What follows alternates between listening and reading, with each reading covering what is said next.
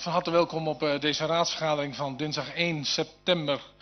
En het welkom geldt ook de mensen op de publieke tribune, de media en de mensen die ons beluisteren, volgen via de, het internet. De vergadering is eh, geopend met mededeling van afwezigheid van uh, de heer Stelpstra, mevrouw Luiten en de heer Kloekhorst. Dat is correct, dat is correct inderdaad. Dan agenda punt 2. Vaststelling van de agenda. Is er iemand die daarover het woord wenst? De heer Wilds. Voorzitter, de gemeenteraad heeft een mail gekregen van de heer Danes, initiatiefnemer van het plan Laag Garenstraat 98 te Hardenberg. En hij wil een heroverweging van zijn plan. De heroverweging wil hij graag doen met alle betrokkenen, de buurt, begeleidingsteam van de gemeente, etc. Om een brede draagvlak te krijgen voor het eventueel aangeplast plan. Dat juicht de fractie van de ChristenUnie en een aantal andere fracties toe. En wij stellen u daarom voor het raadsvoorstel Lage Garenstraat 98 van de agenda af te voeren. Akkoord. Kijk even rond of uw voorstel gedeeld wordt. Is dat het geval? Akkoord? Ja? Dat betekent dat uh, het bespreekstuk uh, agendapunt 6 van deze agenda afgaat met instemming van uw raad. En wellicht zien we dat voorstel op een ander moment ooit nog eens weer terug. Uh, al dus besloten. Anders niet over de agenda, dan is die agenda akkoord. Agenda punt 3, het spreekrecht bij de agendapunten. Agendapunten die overblijven, dat zijn dus de hamerstukken nog. Wenst iemand daarover het woord? Er is een verzoek binnengekomen van de heer Slot. Uh, mag ik u verzoeken, als u dat nog steeds wilt, om het woord te nemen. U heeft de vorige keer ook ingesproken bij de oriënterende ronde. En u wenst dat nu opnieuw eh, te doen. U heeft maximaal vijf minuten. Minder mag ook, maar dat hoeft niet. Uh, het woord is aan u. En als u de knop even wilt indrukken.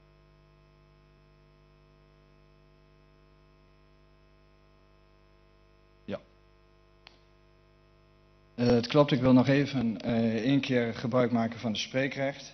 Uh, ondanks dat het als hamerstuk wordt behandeld, besef ik heel goed hoe de procesgang is.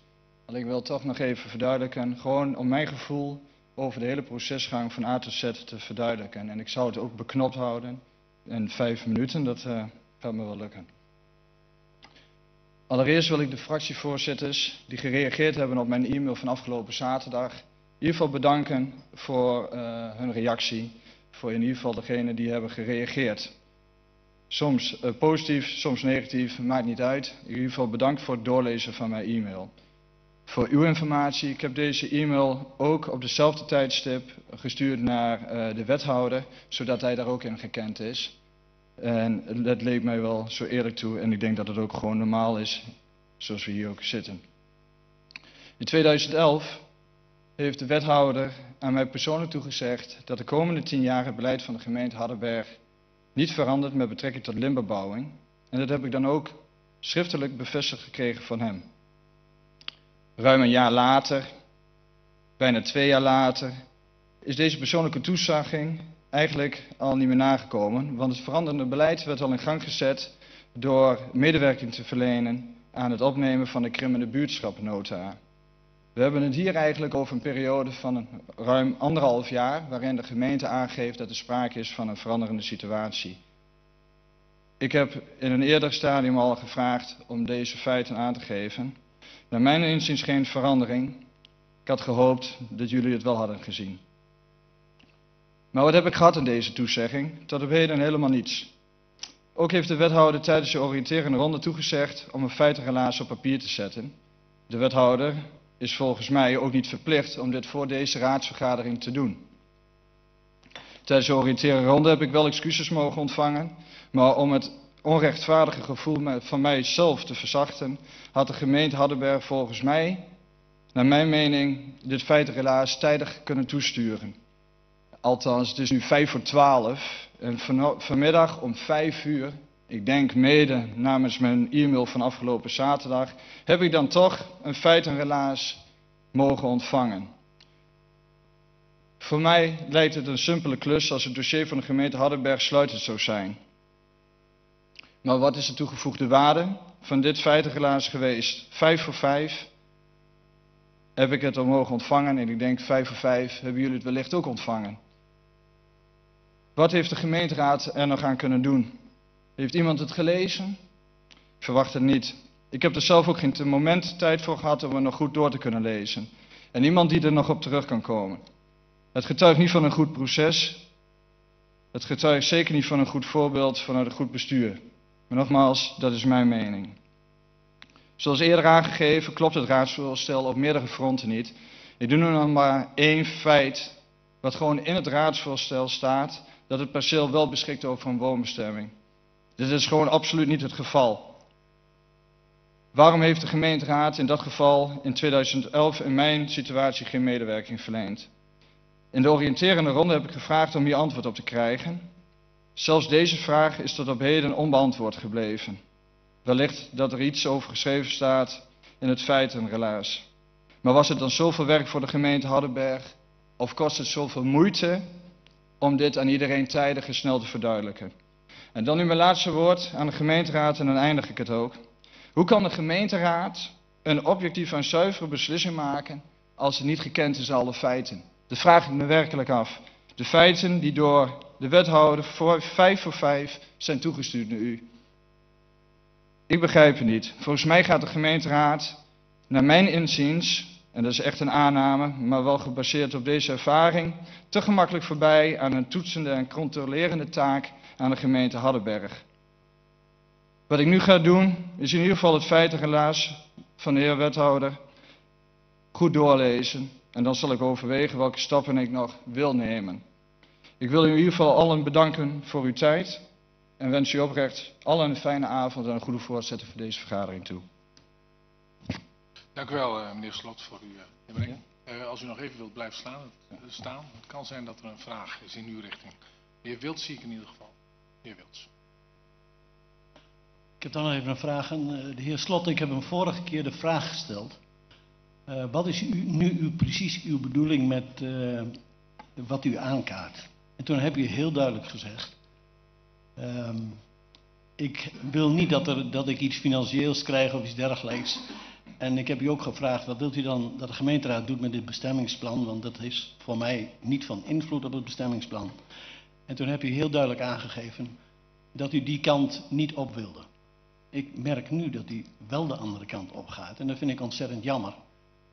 Uh, dus ik heb nu de vraag, uh, waarom, wat is nu precies de reden dat u dit nu toch doet? Dat wil ik u graag uitleggen. Dat is eigenlijk de reden dat ik vind dat de gemeenteraad onder andere, los van het feit dat ik nog steeds van mening ben dat er bepaalde zaken in het dossier in de procesgang niet klopt, dat ook hier een beetje voorbij gaat. En het gaat echt hier om het gevoel van hoe kan de gemeenteraad, en dan eindig het ook, een beslissing nemen als het de feiten van de wethouder, die vijf voor vijf net gestuurd is, nog niet gelezen heeft. Hoe kun je dan een zuivere beslissing nemen? Dat vraag ik aan u. Nou, u hoeft niet te reageren hoor. Nee, ik weet het wel. Maar het gebeurt uh, in de gemeenteraad wel vaker dat we stukken uh, vlak voor de vergadering krijgen. Ik heb er in ieder geval wel doorgenomen. En ik denk dat er een goed stuk genoegdoening in zit. Akkoord. En procedureel wil ik ook nog als voorzitter opmerken dat deze raad, ook in de, heer, in de richting van de heer Slot, uh, toch heeft proberen uit te leggen in ieder geval, de vorige keer al besloten heeft om er een hamerstuk van te maken. Ja. En nu in ieder geval bij de vaststelling van de agenda niet heeft besloten om op grond van onder andere het feitenrelaas het alsnog weer als bespreekstuk ja. aan te melden. Dus dat, is, dat had de raad kunnen doen, maar ja. heeft daar blijkbaar onvoldoende reden toe gezien. Uh, dus dat betekent dat wij straks een besluit gaan nemen over dit stuk. Dank voor uw inbreng, nogmaals.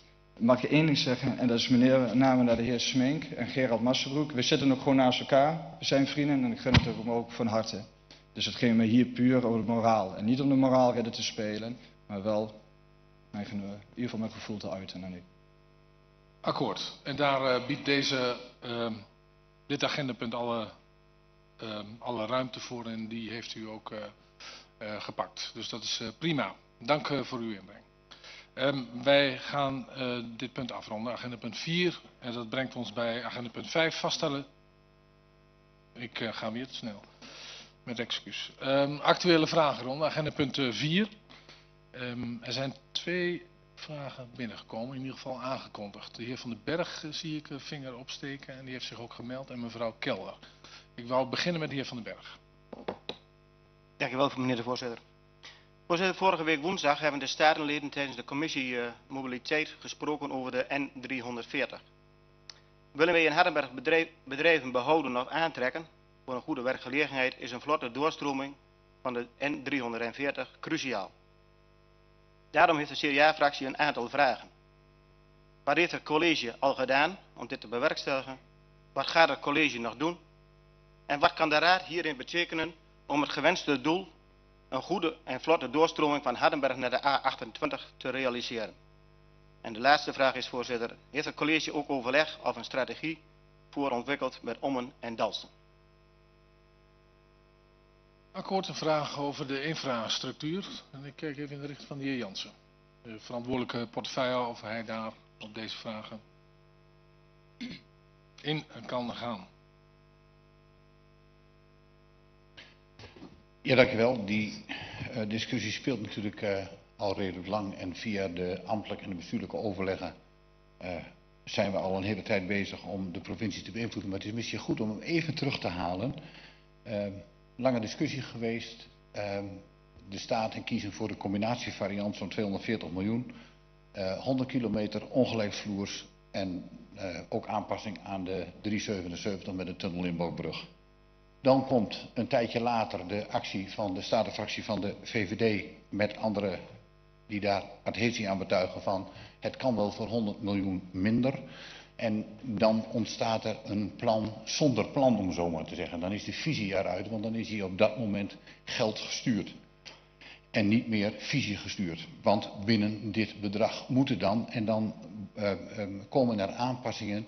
En dan krijg je in één keer het plan van uh, veiligheid, leefbaarheid, oh ja, en dan ook nog doorstroming. We doen het 80, gelijkvloers. En dan zegt bijvoorbeeld Dalsen, maar dan willen wij in een aantal van onze wegen willen wij de stoplichten hebben staan, want dat is veiliger. Um, in dat plan is verder gerekend op het geld.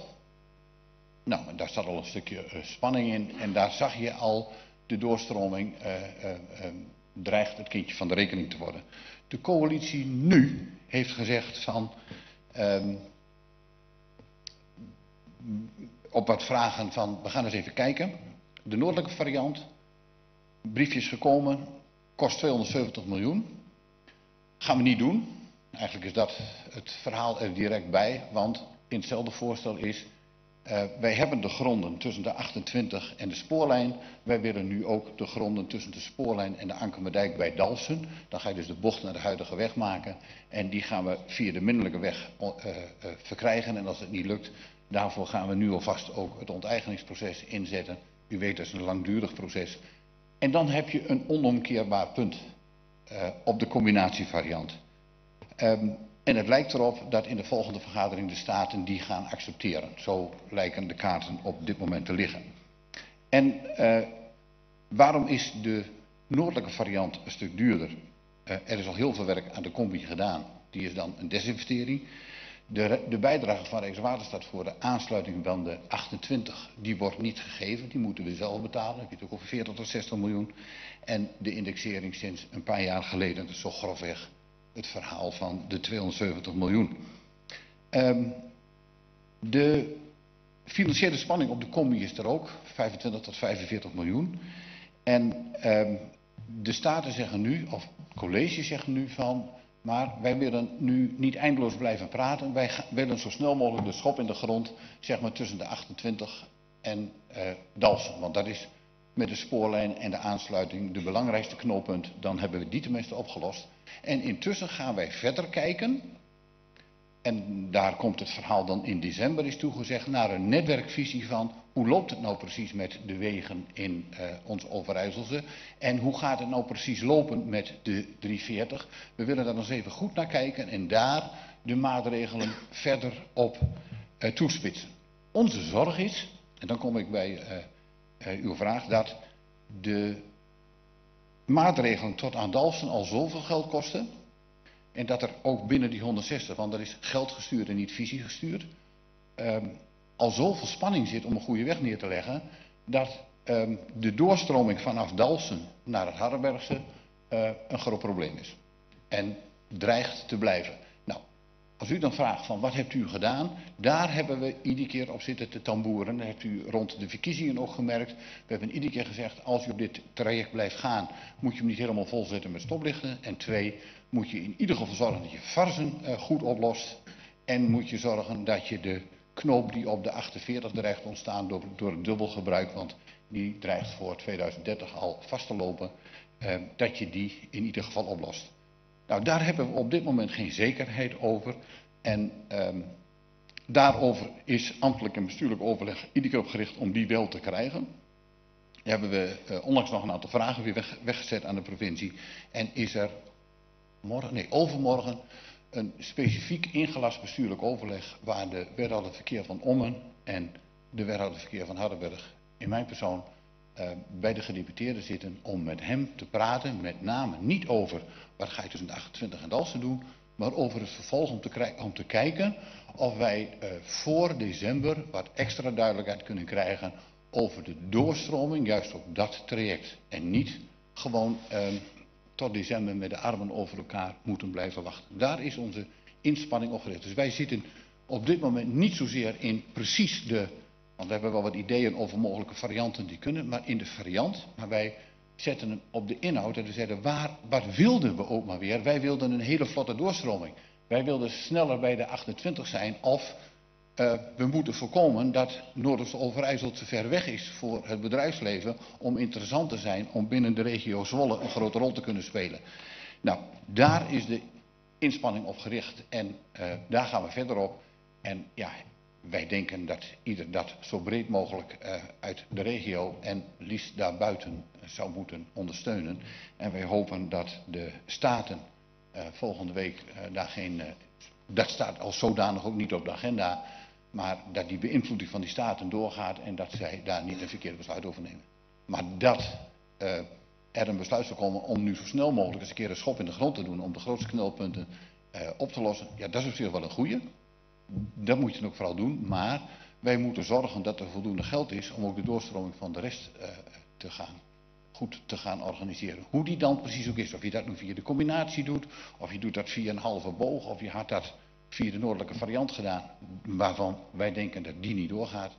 Uh, dat is niet zo interessant, die doorstroom moet komen en daar zitten we op in. Akkoord. Lange beantwoording over een belangrijk onderwerp, dus het is goed om iets meer tijd voor te nemen. De heer Van den Berg daar nog op reageren. Ja, uh, kunnen wij als raad hier nog iets voor u in betekenen? Dat we de maximale druk op de, op de staten leggen van, uh, denk ook aan Hardenberg en denk niet alleen aan Twente. Want ik heb ja. wel eens het gevoel dat de statenleden alleen maar over Twente regeren. En er is uh, Hardenberg wel eens vergeten. Ik en de tweede vraag die ik daar graag aan wil koppelen. Ook de gemeente Hardenberg heeft volgens mij al geïnvesteerd in de rondweg van Ommen. Uh, met ja, toch de conclusie denkend van ja, uh, hopelijk komt die doorstroming naar Zwolle er. Dus daar gaan wij in investeren. Nu die doorstroming, hopelijk komt die er wel. Maar als die er mogelijk niet komt, krijgen we dan dat geld terug. Gaat u daarop inzetten? Dus het is een actuele vraag rond, niet de bedoeling om er een agendapunt van te maken. Wellicht dat de wethouder daar kort nog een antwoord op wil geven. En dan, ik beschouw uh, deze opmerking, en ik ga ervan uit dat in de breedte van de raad die wel ongeveer gedeeld wordt, uh, als een aansporing voor het gesprek van overmorgen. En ik zal zeggen dat de raad mij heel strak op de nek zit en dat ook uh, er gesproken wordt over een miljoen euro die ergens voor gegeven is. Akkoord, dank u wel. Daarmee dit punt afrondend kom ik bij mevrouw Kelder. Dank u wel, voorzitter. Het gaat ons om het volgende. Ons bereiken signalen dat de mobiele bereikbaarheid in delen ten zuiden van onze gemeente Hardenberg ernstig te wensen overlaat. Daarmee de veiligheid voor onze inwoners in het geding komt. Knelpunten daarin zijn onder andere Zipculo en Brugterveld, maar waarschijnlijk nog meer gebieden. Dit is meestal te ondervangen doordat men nog steeds over vaste telefonie en of internet beschikt. Recentelijk is het echter voorgekomen dat een grote internet- en telefoonaanbieder, namelijk Ziggo, langdurige storingen had. Met name tijdens het noordweer van het afgelopen weekend. Dat het, uh, was dat het geval. In een dergelijke situatie is een deel van de inwoners van de gemeente Hardenberg volledig afgesloten van de buitenwereld. De zorgen die dat oproept betreffen situaties waarbij sprake is van calamiteiten en zelfs 112 niet bereikbaar is. Die calamiteiten doen zich bij noodweer eerder voor dan anders. Vandaar de actualiteit van het probleem. Vraag aan het college kan er opnieuw actie worden ondernomen om de mobiele providers op hun verantwoordelijkheid in deze te wijzen en te zorgen voor een goed landelijk dekkend netwerk. Het kan toch niet zo zijn dat er in een Afrikaanse steppe een beter bereik is dan in de gemeente Hardenberg.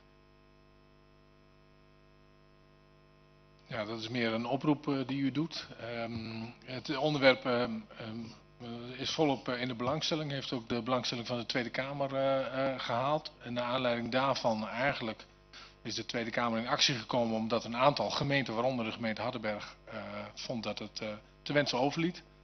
Um, dat was samen overigens met de gemeente Tubbergen, Dinkeland en de gemeente Winterswijk.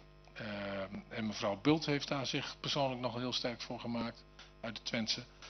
Um, de Tweede Kamer is er achteraan gegaan en wat wij hebben bereikt tot nu toe, um, ik zal kijken of we daar nog wat informatie in de richting van uw raad kunnen sturen, is dat in ieder geval uh, de grootste uh, providers, telecomaanbieders, investeringsplannen hebben aangescherpt of in ieder geval hebben uitgebreid. En op dit moment zitten we volop in de uitvoering van de, ja, van de uitwerking daarvan. Dat betekent dus dat een aantal um, telecomaanbieders op dit moment masten aan het bijplaatsen is. Uh, ook in de gemeente Hardenberg en ook in, juist in die gebieden waar die uh, opbrengst niet optimaal was.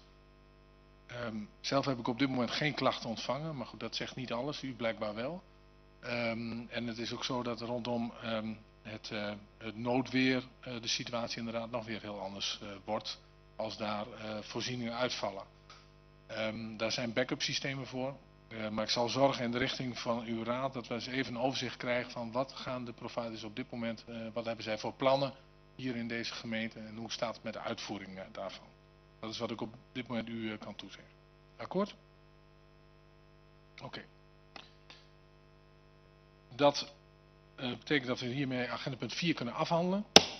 En gaan wij over naar agenda punt 5. De besluitenlijst van de raadsvergadering van 18 augustus 2015. Geen opmerkingen binnengekomen. Ook nu heeft u geen opmerkingen. Willen we die vaststellen? Brengt ons bij de hamerstukken. Agenda punt 7, oude nummering noem ik het maar even. Vaststelling van het bestemmingsplan buitengebied Hardenberg, de parallelweg 19, de Krim. Uh, u heeft het als hamerstuk aangemerkt. Is er behoefte aan een stemverklaring? De heer Bak, een stemverklaring. Dank u wel, voorzitter. Uh, ik wil benadrukken dat wij als CVD heel goed begrijpen uh, welke gevoelens er zijn bij de heer Slot. Uh, de tijd is inderdaad uh, heel snel achterhaald gebleken. Ehm, maar ik wil ook mijn complimenten geven aan de wethouder hoe hij met het dossier is omgegaan. Ook zijn excuses hier in de voltallige raad heeft gemaakt. daar hebben wij als CVD veel waardering voor. En wij stemmen ehm, dan ook gewoon voor. Akkoord. Dank u wel. Mevrouw Baaslag, stemverklaring. Ja, voorzitter, ook Leva Hardenberg vindt het uh, jammer dat er uh, bij de heer Slot uh, toch de gevoelens blijven. Maar ik kan me daar ook wel iets bij voorstellen. Ik heb het feitenrelaas nog niet kunnen lezen, dus dat is wat dat betreft een beetje snel. Maar ehm, ja, de, de, bestemming op zich mag van ons doorgaan, omdat dat in principe weinig mee te maken heeft. Ik vind het wel jammer, de snelheid van acteren, waardoor wij eigenlijk gedwongen zijn om een keuze te maken, terwijl we dat wat ons betreft nog niet hadden moeten doen. Maar we gaan wel mee. Akkoord. Um, mag ik het voorstel in stemming uh, brengen? Bent u, kunt u instemmen met uh, het vaststellen van dit bestemmingsplan? CDA-fractie akkoord, Leefbaar Hardenberg akkoord, ChristenUnie akkoord, VVD akkoord, D66 akkoord, Koers.nu akkoord, GroenLinks akkoord en Partij van de ook akkoord. Daarmee is voorstel met algemene stemmen aangenomen. Dank u wel. Agenda punt 8. Follow-up Verslagjaar 2014, horizontale verantwoording archiefbeheer van de gemeente Hardenberg. U kunt het zich vast voorstellen hoe dat eruit ziet. Kunt u behoefte aan een stemverklaring, niet het geval. Uh, kunt u instemmen met dit voorstel? Algemene stemmen, akkoord. Dank u wel. Agenda punt 9, de gewijzigde gedragscode integriteit. Behoefte aan een stemverklaring, niet het geval. U kunt instemmen met dit voorstel. Akkoord, akkoord, Daarmee is ook agenda punt 9 afgehamerd. Agenda punt 10, de rondvraag. Behoefte om gebruik te maken van de rondvraag. Niet het geval. Dank u wel. Dat brengt ons bij agenda punt 11, sluiting van deze vergadering. Ik sluit de vergadering onder dankzegging en meld dat de oriënterende ronde om 8 uur aanvangt. Dank u wel.